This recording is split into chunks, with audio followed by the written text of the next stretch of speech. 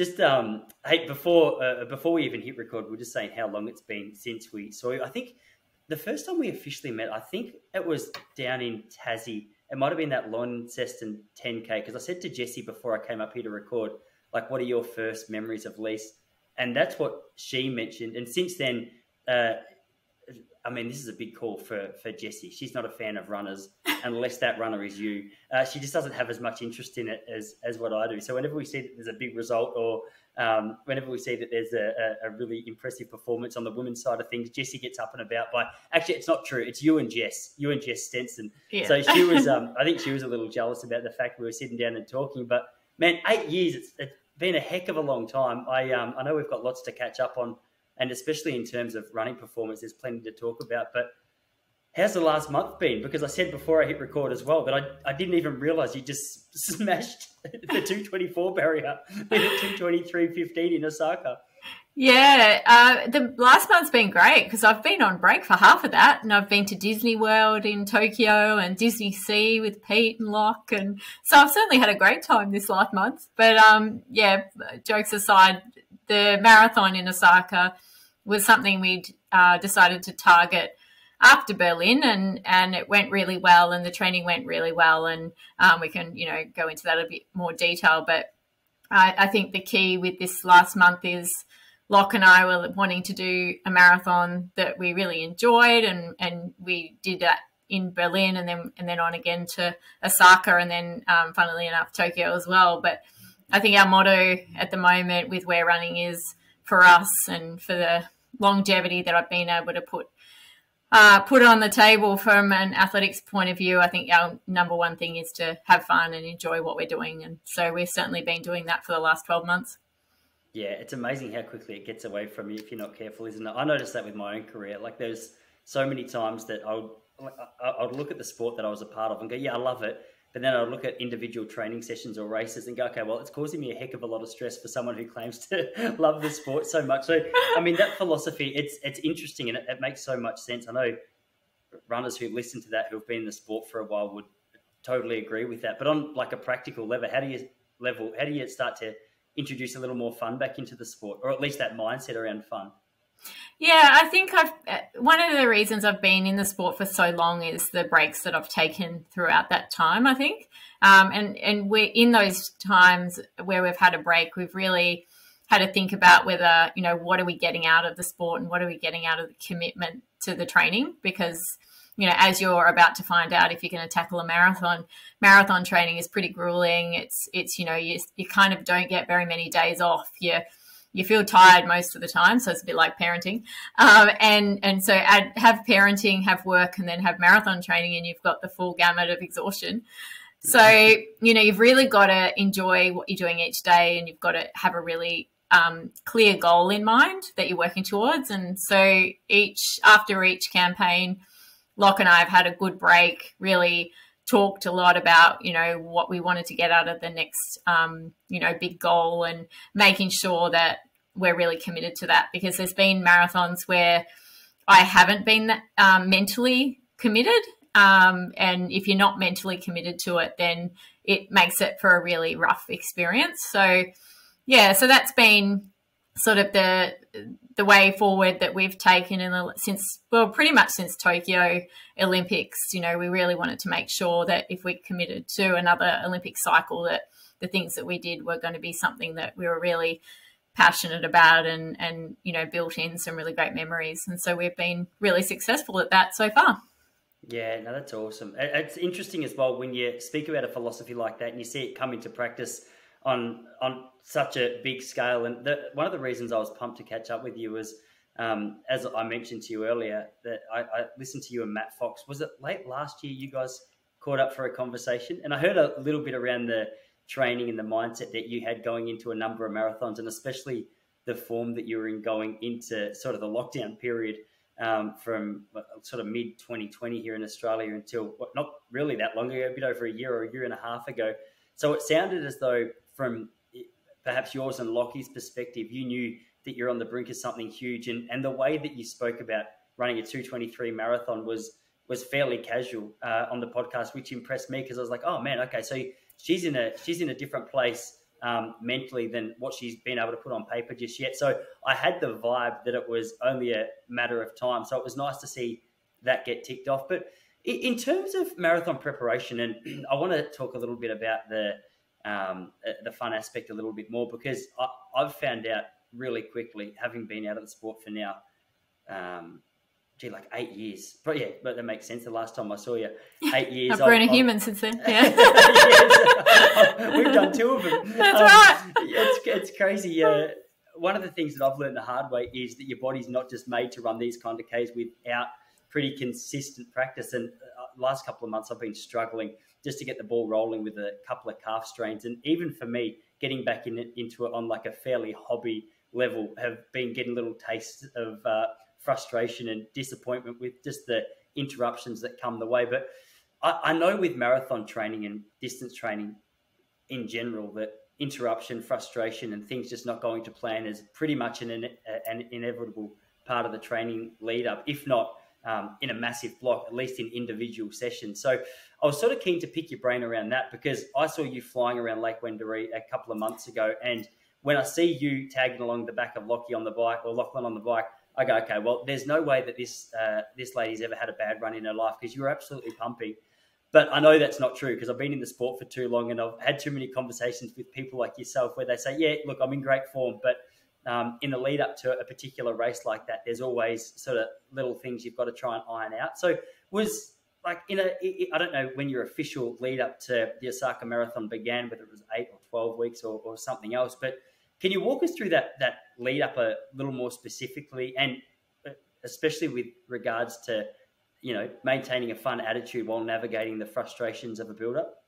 Yeah, so the campaign really probably for Target 223 um, was probably started in 2019 actually. Um, so in 2019, I had ran my PB in the half, which was you know just under 69 minutes, and um, I was in pretty good shape. I wasn't training. In hindsight, now I wasn't training as well as I have been in this last um, block, but for what I had done with the work, you know, with the work schedule I have, and with Pete, you know, we were we used to train before the pandemic at six in the morning and then start a session at six at six thirty at night, and we'd get home at like you know eight thirty, nine o'clock by the time we'd get home from a long marathon session, and we'd be you know working all day in you know in the office, and so um, you know. the training I did back then off that kind of lifestyle was the best I'd ever, you know, put together and I was um, thinking that running 223 was going to really happen for me in Chicago. And, you know, when I went to Chicago, everything was going well. My taper was really good. I felt amazing in the lead up. Just everything just pointed in the direction that, you know, I think this is my time. And, um, and then unfortunately, there were three of us in the elite women's field who got some food poisoning. And so I ended up like vomiting for like 12K of the marathon, um, the last 12K of the marathon. And some strange thing that's in my mindset, obviously, because um, people said to me, Why did you finish? And it's like, What? I was on track for this PB, right? And so I just went a bit more and a bit more, thinking, Well, maybe I'll, you know, get rid of it and then I'll be able to get back on. And, you know, um, it was a bit silly in hindsight, but um, I think I ran like a 229 or something. Um, and, you know, was pretty devastated uh, with that experience because I thought it was my time. Uh, and then obviously the pandemic, we had the pandemic and um, I got cut from funding from Athletics Australia because my time wasn't fast enough. And, um, and so there was a whole lot of negativity that came out of that. And, you know, I got told I was, tran- you know, I should transition out of the sport by them. And it was, it was really heartbreaking. So when you come to, um, you know, those crossroads, like you mentioned, or the and the motivation. Well, that that was a pretty you know difficult time in my career. Um, but Lock, Dick, and I were like, well, you're not transitioning out of anything because you're entered into the cycle women's in January and you're starting training the next day, and don't worry about it. You know, let's get on with it. So. Thankfully, having that team support, you know, I was then able to qualify for the Olympics at Osaka. Um, you know, and and that was the Osaka women's, and in that race, you know, I was in still in really good shape because I hadn't really had any time off.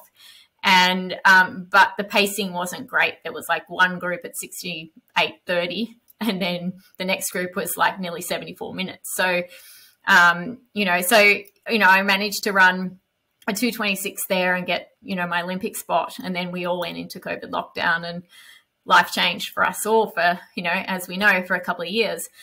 But I think the positivity out of all of that is that we both ended up working from home a lot. And so that changed our whole ability to train in a different way. And we haven't returned back to the old way where we're in the office full time. We're part, partially in the office now, and we're able to prioritize training at a time that works in with all of our meetings and our commitments.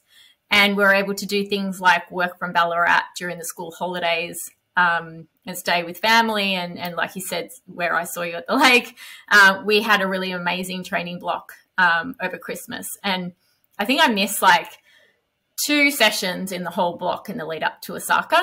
And my training was better quality, more volume, and I didn't break anything in the process. So it was a really good insight into what more I could handle given my history of injuries in the past and um, what you know trying not to take too many risks and you know keep going and keep consistent. But now i'm at a stage also where i want to do a bit more in training and i want to see what else i can do because i'm kind of at that stage now where i i know what that level of training that i was doing what result that was giving me. Whereas now i'm finding out well if i can handle more then let's give it a try and see what result we get. So it's kind of exciting because i feel like i'm starting a whole different chapter in my running career. And I don't really know what my limit is uh, because I've been able to handle so much in this block. That is such a wild comment. I, I did, just to make sure I got it right, that Athletics Australia sort of started to encourage you a little bit to transition out of the sport. Like that's a that they got to surely come crawling back humbly with some phone calls and some bigger pays after that because that's just a if nothing else an absolute uh, just a load of fuel to the fire of marathon training and um, planning for future marathons. Like that, that's a weird, uncomfortable conversation to have with a organization that you sort of represented pretty strongly for a long time.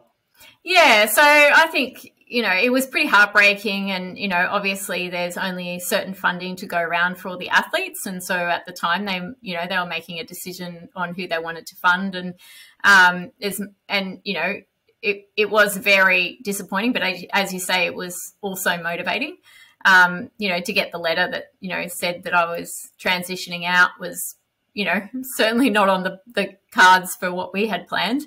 Um, and look, it, you know, the good thing is that we were able to keep training, prepare for the Osaka Women's Marathon and, you know, hit the qualifying time and get the opportunity to represent the country and, and move forward there. So, um, look, the, you know, that's unfortunately in life, we've all got, you know, to deal with um, things like that that come up and you know rejections and things and it's how we deal with that and how we um, you know move forward and, and take that as an opportunity to really motivate yourself to do something amazing is is important. And so you know we're back um, focused on you know representing australia again and i'm really looking forward to um, you know having that opportunity hopefully very soon to to re- to continue on. So yeah, it, it wasn't nice, and you know I think most people already know that story um, about what happened in that race and and how difficult that was and what I came back to. But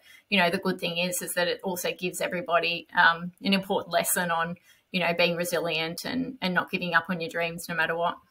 Yeah, for sure. One of the things I was interested um, to chat to you about, based on the conversation you had with Foxy a little while ago, was um, for, for someone who's been in the sport of marathon for so long now, you, you mentioned that like when you run a marathon, you go back to the drawing board, you'll look at different areas, what worked, what didn't, how do we change it? You said your most recent lead up had been really good with the speed and volume and things. Where do you guys start when it comes to planning a next marathon? Like, what elements of your training do you break down? Are you looking purely at volume and distance? Is it session structure? Is it um, fueling and hydration? Because that's the one thing I've learned quite quickly in the marathon world as opposed to 1500 meter running, there seems to be endless um, bits of data and knowledge that you can attain, which is not just, all right, hey, run faster and longer, but all right, fuel well here, slow down here. This is a taper. This is a, a, a heavy block. It's kind of mind blowing to me. And I'm, for a bloke who's been in the sport for such a long time, the marathon, I still feel like I'm scratching the surface of all there is to know. So I was curious just to unpack that a little bit with you because I, I think going back to the drawing board after a marathon, it sounds terrifying because there's so many different places you could start the uh, the research as to what you can do better. Yeah, so I think the key is to it needs to be gradual no matter what you do. Everything needs to be gradual. You know, the way you introduce fueling needs to be gradual. The way you um, change your diet to accommodate, you know, your training requirements, it needs to be a gradual change. Um, the level of intensity that you apply week on week needs to be gradual. You know, you don't want to be increasing your load and your intensity um, in the same week uh, because that's when you'll get stress injuries. That's when your bones will break down if you're not, you know, taking in as much enough fuel to cope with the addition in training. Um, you know, there's plenty of examples of athletes who, you know, have higher um, calorie intake uh, for their chosen training and, and they're not putting in enough and they get a, you know, a stress fracture as a result. So um, all the study, all the evidence is there that everything – you do when you prep for when you plan your full marathon build you should be doing everything in a gradual calm fashion and then it won't be such a shock to your body your muscles your fueling systems your energy systems and you'll be able to adapt in a nicer um, way without you know anxiety and panic over missing time or you know missing time i think the other thing is that we underestimate you know even elite athletes especially most of us have jobs and family and all of the things that we need to look after, we tend to underfuel because we're just busy. You know, you've got two children. You know what it's like trying to, you know, get you know get looking after yourself just just as a parent, and um and then add the training in. And you've really got to make sure you're on top of that fueling because it impacts your ability to do the training, but it also impacts your ability to stay healthy. Mm. How did you navigate that part? Because obviously, uh, your your little guys um, it is a little boy you've got, isn't it? You, yeah, you said, Peter. Yeah, I was going to yeah. say it's awkward. I clarified that just now. Yeah. um, but you said that uh, he's he's just turned eight or he's eight years old now. I've got to see firsthand, and I've even felt a little bit firsthand. And you've got to be cautious as a dad talking about this because I know we don't cop it as sweet as what you guys do. But in terms of welcoming a new little life and trying to navigate just day to day life, is a it's a pretty huge transition. Um, so for yourself, who uh, I, I can only imagine didn't take a whole heap of time off serious training or at least some form of training. It's a fair juggle. Um, one of the things that Jesse and I often laugh about is just how easy life was back prior to kids and how we just were so unaware of how much time we had to ourselves, which for a runner is such a beautiful thing to have. But right. for a new mum is one of the most intimidating and terrifying things to fathom how you're going to get through the next few years with this little guy running around. That's right. I won't tell you that it gets busier and the goalposts change a little bit. So the, the time commitment doesn't change, or at least up to to eight year old anyway. I know. Or if I take myself for example, you know, at forty four, I'm still calling my parents. So you know, hey. but um, yeah. Look, for us, when uh, so I got a sacral stress fracture randomly in training, um, uh, Christmas of 2013, and um I was, you know, planning to run the Glasgow Commonwealth Games. And um, when I got the fracture, I said, you know, Locke and I had a chat and it was like, well, maybe this is like kind of a sign. Maybe this is the time to start a family because, you know, I won't be able to run at my best. Like, you know, I really was hoping to for Glasgow. And so, you know, it, it's a good time. Should we try for a family? And so, look, we were very fortunate that, you know, two months in and, you know, I was pregnant with Pete and, my fracture healed at the same time and you know everything was kind of really positive. Then we found out we had pete coming along. And like i, I guess i've been a bit different in that when uh, we decided to have a family i didn't think about what it would be like for running afterwards. So we kind of went if that's it for running i'm really happy with what i've achieved in my career but we want to have a family and if that means i don't run another race well that's perfectly fine. So we were kind of pretty pretty much at peace with that as being a, a you know it may happen uh, and then I started to train a little bit after Pete. Um, I didn't do much running while I was pregnant. Um, you know, I'm pretty short, as you know, um, and I was all baby in the stomach, so I kind of looked like a bit of a lopsided uh, whale. But um, and so running with this child that could barely fit, like I was in, you know, I had these these feet and, and head and everything jammed into all these like crevices and I could barely eat a sandwich, let alone go for a run. Um, and so we, um, yeah, I was just kind of doing long walks with Locke and we were just enjoying really just having that time to just go for walks and see different things and not rush around and things like that. So it wasn't until, um, you know, probably about four months, I think, when I started to do some walk jogging um, after a Caesar, and then uh, and then we progressed a little bit from there. But I ended up getting um, like a stress reaction in my foot pretty pretty soon after trying to start running. Um, and so that set me back a little bit. And then at about 10 months, I think I ran a half marathon in Melbourne and, and ran pretty well there. Um, and then on to uh, it was at Houston for a marathon in January, and um, which was like 13 months after Pete, and ran 227 there. So, um, yeah, like it was it was a great, you know, a great first year as a mum, really for us because we didn't really have that pressure of going, well, I really do need to, um, you know, go back to running. Um, we did it, and we found the enjoyment out of running together, and you know, getting that exercise together you know, really all about enjoyment as opposed to performance. And it wasn't until I ran that half marathon and thought, wow, I'm still pretty fit now. Um, we'll have a crack at trying to qualify for the Olympics again. So, um, yeah, so that's sort of how it, it took place for us. Um, there wasn't that pressure, I guess, to come back so soon. Um, you know, I think people feel a bit pressured to come back early and look at other people's scenarios and, want to, you know, replicate that too. But um, for us, we weren't really too worried about what other people had done, and we just wanted to focus on our own story. Yeah, one thing I spoke about with Jess Stenson was how amazing it is that as distance runners, a lot of a lot of us have a reputation for being fairly OCD when it comes to not missing a day, and when it comes to making sure all the little uh, you know uh, I's are dotted, T's are crossed. But the idea of taking 10 months off almost completely and just doing the best you can to sort of maintain some form of fitness is in nobody's training schedule. So I was interested to uh, hear your mindset around that a little bit because uh, not only yourself, um, but uh, I mean, there's there's endless women, but uh, on Australia who I know personally, it's yourself and Jess have both run your fastest times coming back from giving birth. I know Jess is going back for seconds now. Um, it, I don't know if you've got any thoughts on that. It's just something that blows my mind because you just the process of even taking close to a year off training, it, it's still hard to wrap your head around how you can maintain or, or build back fitness to a degree that you were um, you, you're sort of far more ahead of where you were previously. That was a lot of words, but I hope that made sense.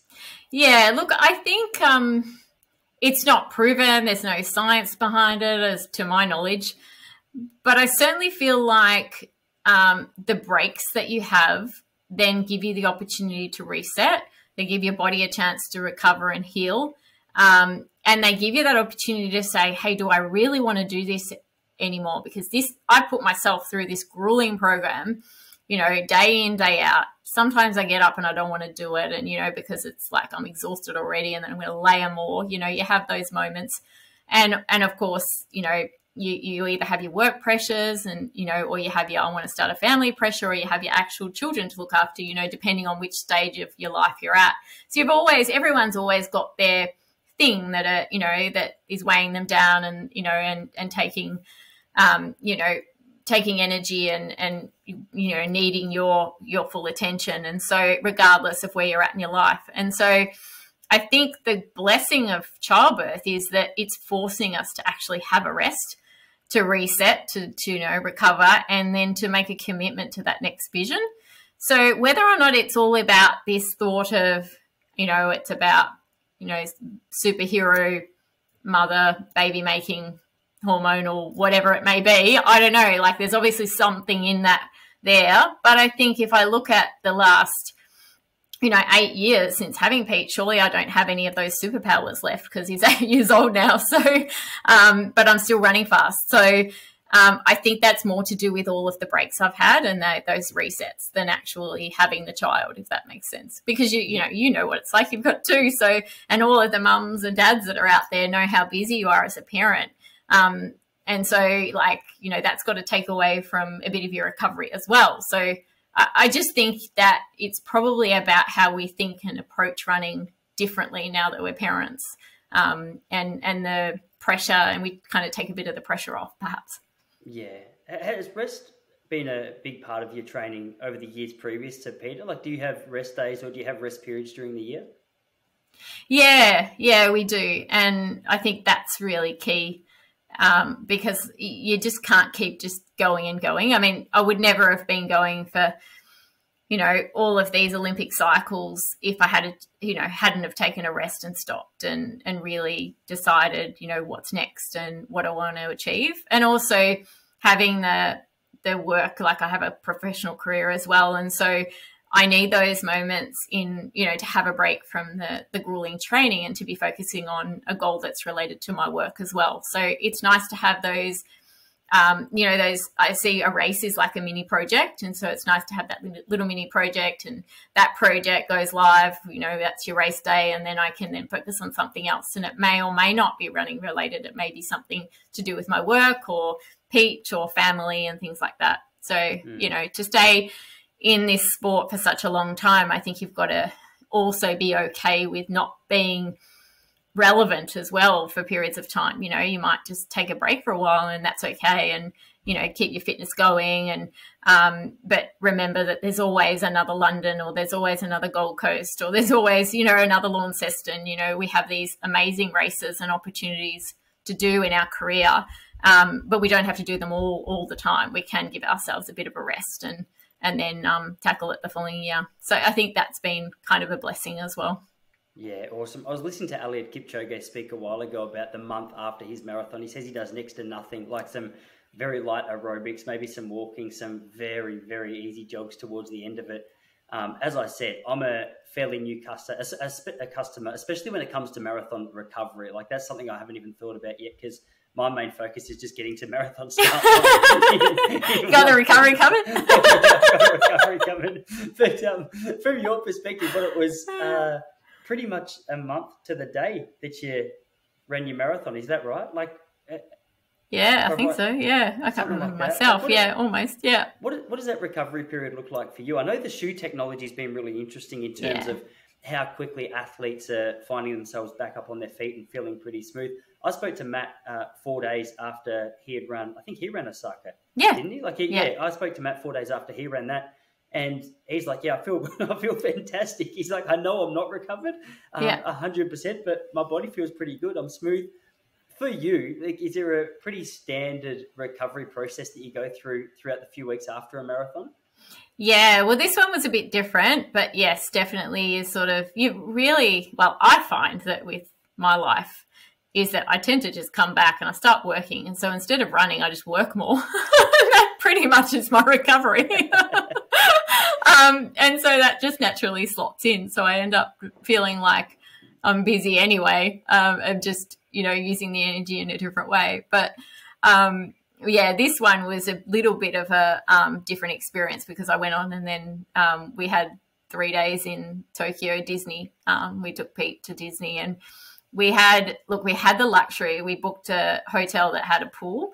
And so um, we spent every afternoon the three of us in the pool just mucking around you know just playing kid games and um, and that really helped my recovery. Um, so i would recommend you know just not doing anything like pool running or anything you know that you'd normally do as an injured athlete just doing things that are just fun with the kids you know and because then you're just moving around the water you're running and chasing them in the water you just you know, and you're getting that blood flow and toxins out. So that was really a positive thing. Um, I felt pretty good after Osaka, which was really good um, because it meant the training worked. So it meant that all the training we put in, um, you know, that I really um, hit hit the right mark. So that was a positive there, recovering really well. Um, I think the thing that I struggled with in the recovery was more around like your um, my stomach didn't feel as great, and you know, because you eat all these carbs and you you know you're eating all this stuff that's kind of like a bit boring and a bit like the same, and your body's not having as much fiber and as much you know green veg and all that stuff that kind of keeps you you know your stomach in check. Um, so later in the week, and then obviously went to Tokyo Disney and probably didn't eat the best. So, um, so adding to that, you know, my stomach was probably more impacted than my actual legs. Um, because I was unable to run Tokyo the following week and um, and survived that, but didn't feel bad in the legs. I just felt really a bit funny in the stomach. So, mm. um, yeah, so I guess the message there is like, you know, a bit of water stuff is really helpful. And then on top of that, you know, really get on to the nutritional aspects and, you know, have fun because you don't want to be too boring um, when you're trying to celebrate a, a PB and a marathon um, completion. But also make sure you add a bit more veggie in there and other things. Um, and maybe don't run a marathon seven days after a marathon either. That's a bit crazy. I'm gonna I'm gonna pick your brains about that in just a moment. But before I forget, um, so speaking about nutrition uh, going into the race, like you said that there's not a whole heap of uh, veggies and greens and things going into the body. There's a pretty heavy co- focus on carbs. Is, is that the week out? Is that a couple of weeks out, or is that just something you feel more comfortable with in like a month leading up to a marathon? Oh no, definitely not a month. No, no, that's just like the couple of days. So you're talking, you know, like Thursday night, yeah, Friday. Saturday.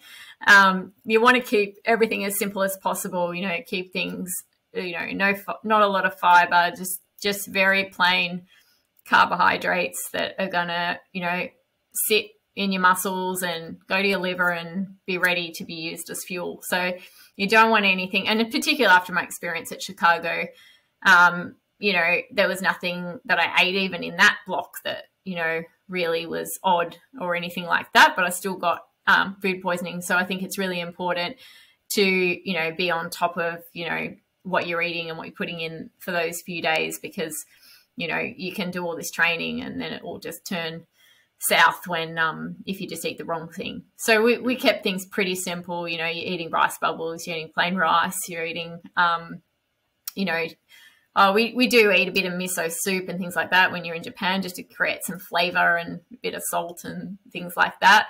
Um, you know, and then I would keep like lunches is where you'd add a bit of salad and, and chicken and things like that. But generally for those two days, you're eating a lot of rice and um, you don't want to see too much rice after after your yeah. three days of carbo- carbohydrate I loading. I can imagine that's true. I can imagine that's true. What so pre is pre race breakfast your your rice bubbles? Um, depends where I am. If I have the ability to get some um, some non fiber bread, you know, just white bread, um, then I'll just stick to you know a piece of bread with some jam or honey if I can get access to that. It, you know, sometimes you're in an, a situation like if you're in a team where you've got access to pretty much anything. So, you know, at a food hall. But there's other times where you're in a hotel room and you, you know, barely got access to breakfast. So, you know, rice bubbles with no milk is fine. Um, um, but, you know, some people couldn't even eat dry rice bubbles. So, um, you know, it really depends on taste as well. But for me, you know, a piece of bread is fine um, because – I'm not really worried about eating the morning of the marathon. Um, I, I, it, by that stage, if I haven't fueled properly, then it's too late. So it's really about depending on what time your marathon actually starts. And you know, if you, if your marathon's not starting till sort of mid morning, then you'll probably want something just so you're not feeling hungry. But um, all your fueling has to have been done already in the in the few days leading up. So mm. you know, really, that piece of bread is just about not feeling hungry in the morning. Yeah, sure. Now, this marathon a week later, it's very interesting. I'm on my way there. Um, in terms of recovery, things like that, you gave me a pretty strong nod when we mentioned the shoe technology and how much that has improved the recovery time. What are you running in when you're uh, lining up on race day? What shoes have you got on? Yeah, so I wear the Asics Sky Plus, and so yeah, they've been great. I have. I train in the Asics Novablast for most of my sessions, and then for anything where I want to get an indication of um, you know, marathon pace or speed, then I'll put my skies on as well to just get an idea of to how things are going. Um, but generally, most of my training's in the Novablast. And they have been amazing. Like they've got, you know, all the cushioning and they feel pretty light. So, you know, I can do pretty good sessions in, in the Novablast and sort of just extrapolate those um, times to, you know, what I want to be running in the marathon or in the 10. And then the skies, um, you know, each iteration they've made big improvements. I'm hearing there's some another improvement coming in time for about this time next year. Um, so in time for the Olympics, definitely for next year. Um, and you know, I think that might be their third version. Uh, and they you know, that it sounds like they're um, they've made some uh, tweaks to them to you know in line with the testing that some of the elite athletes have been providing. So um, yeah, th these shoes you know, they've been around since I think 2016 is when we first sort of noticed them popping on the scene um, when, you know, Nike produced their first version. And, um, you know, I think some of the athletes had them at the 2016 Olympics, but others didn't get them. And so, um, you know, that it certainly wasn't a level playing field back then, but I think it's exciting now that, you know, regardless of what brand you're wearing, you've got access to a shoe that is going to help you train better, race faster, and recover faster. Um, you know, and that certainly, um, you know, helps people with the longevity. You know, stopping stopping us from getting so many stress fractures and you know muscle tears and things like that. You know, it's pretty exciting that the technology is um, keeping everyone running because that you know helps participation, enjoyment, and um, you know keeps people doing what they love. Yeah, that was one of the things that I finished up in 2014. And when I started to get more involved in the coaching element of it a few years ago, I was so overwhelmed by shoes. And to be honest, like I haven't looked as closely at shoe technology as what I have for the last six months because I'm now needing to pay a bit more attention to it. But I used to just, I used to be a big ASICS fan as well. I think they were the ASICS GT 1000s were my favorite trainer. I'm not sure if I'm telling you the right name there, but they had like a little bit of midsole support. And I just, had a really good run in them in terms of injuries and just feeling good running. So I was always loyal. And then I came back and couldn't find them. I was like, I'm so confused about where to look. Um, tell me about this second marathon. So was the mindset to go and have a, a, double crack? I know you said Osaka was the main focus. Were you going out to race uh, in Tokyo, or what was the mindset behind what you were doing? Yeah, so I wasn't going out to necessarily race. I think originally I had an invitation for through ASICS um, in the sub elite category to run Tokyo, and this is, um, uh, you know, it was a good opportunity to meet all of the ASICS team and and to be part of such an amazing event. Um, and in the meantime, I was also given an invitation to run in the elite field at Osaka, and so um, my one of my close friends, um, Claire, she was down to run Tokyo herself, and so and she was in the elite field. So, you know, I said to her, like, if I feel fine and recover fine, I'll um, I'll pace you, you know, and I'll see if I can pace you for as long as I can. Um, and so that's how it started. And we'd sort of booked all of our trip around doing that and going to Disney in between. And, you know, and so the focus was to run fast at Osaka. And then the focus at Tokyo was to pace Claire um, and finish, hopefully, and get my fifth star. So I only had Boston left to run to complete all the majors. And so, you know, that's what we set out to do. But then um, Claire had a, um, a little injury that kept her out of training for a little while over the break. And so, she decided it was, she probably needed more time. Um, and then we were kind of thinking, well, you know, I really want to help, you know, be part of the ASICS, um, you know, uh, celebration and the launch of the shoe and all of that. So we'll, um, I'll run Osaka and then we'll see how I feel. And so when it came to the Saturday before the race, you know, I was attending all of the meetings and I'd been drug tested like three times, I think, in this process. And so I was doing all these things, you know, and look, I really would have loved to have been able to, you know, help pace some of the elites, you know, and things like that. But we were pretty excited about, you know, just having that opportunity to be part of such an amazing event. You know, it's huge, Tokyo. But I guess one of the things that I didn't think about in being in the front line is that you know they would be going out so fast.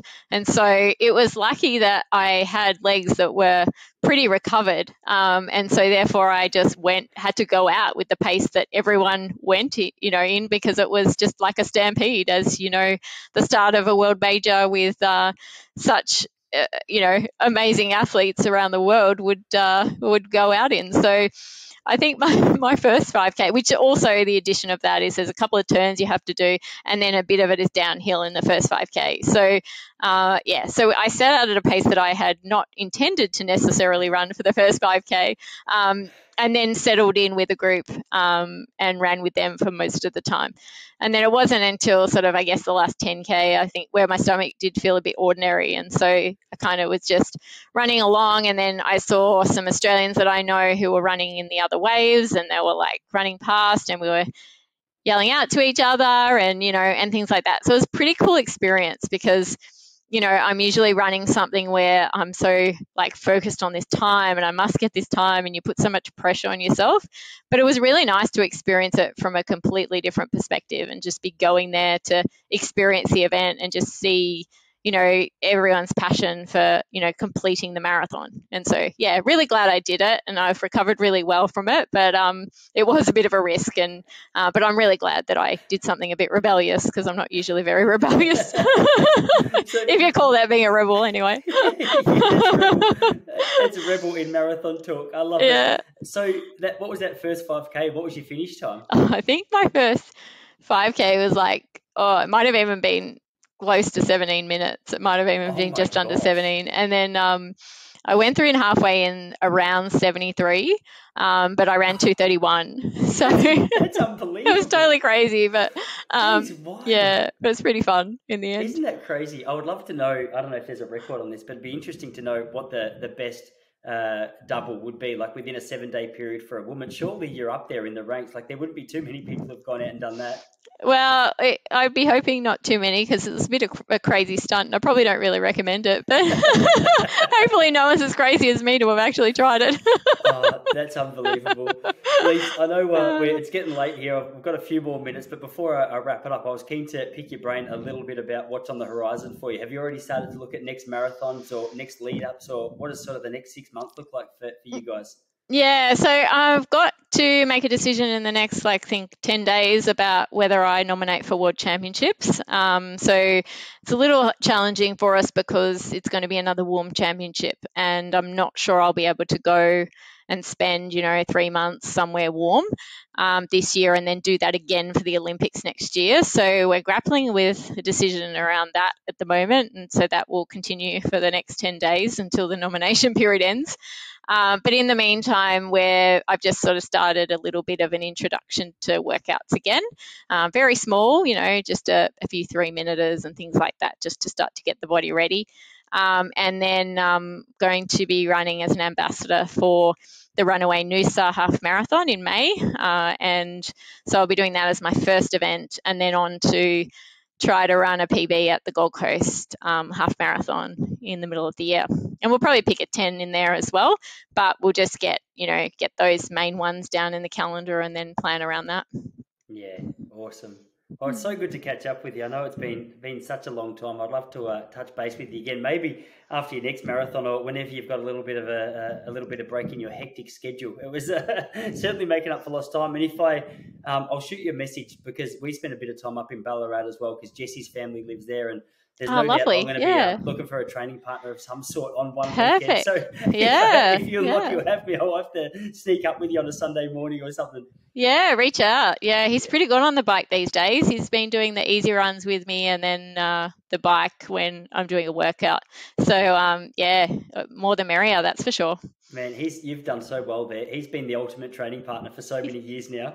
He has, he has. He's, he's pretty good. he's a really good man. Yeah, and he gives good massages too. So I think that Oh. helped me recover. What a king! That's Yeah. awesome. Please, hey, thank you so much. I'll leave you to it, and uh, yeah, we'll chat again soon. Lovely. Thanks. See Bye. you later. See everybody.